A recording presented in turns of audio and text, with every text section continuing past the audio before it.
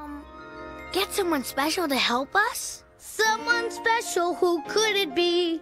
This job's too big for you and me. We need some help. But never fear-o.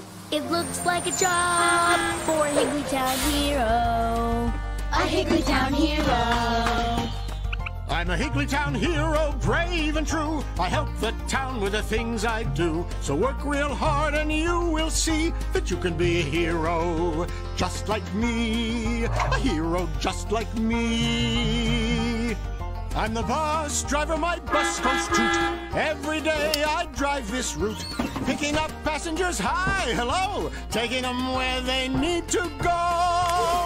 If you're a crowd of higgly folk, I can take you all, and that's no joke. I'll drive you near or drive you far. Just hop on in wherever you are. Can you drive a bunch of cats all the way to Higgly Flats?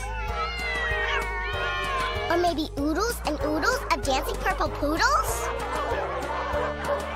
I drive them all, I drive with care. Just hop on in and pay the fare. I've got room for all inside, so come on in, let's take a ride.